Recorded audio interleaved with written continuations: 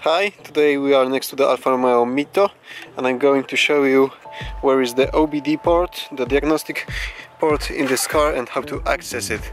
So the port is located behind this, this part, this compartment that you need to remove to access the OBD port. So let's get to it.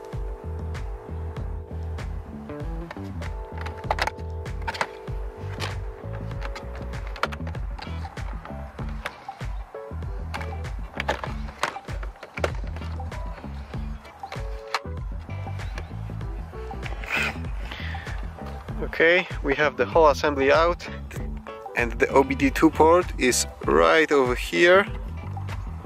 This black plastic part is just a port cover that you need to remove. And here we go. Now we can connect diagnostic scanner and start diagnosing the car. Okay, let's reset the EGR fault and now we can put everything back together.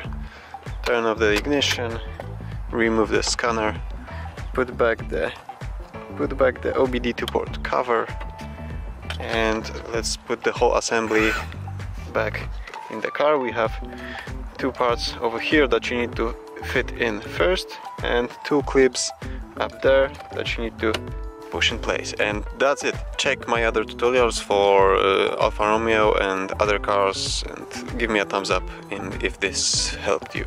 See you soon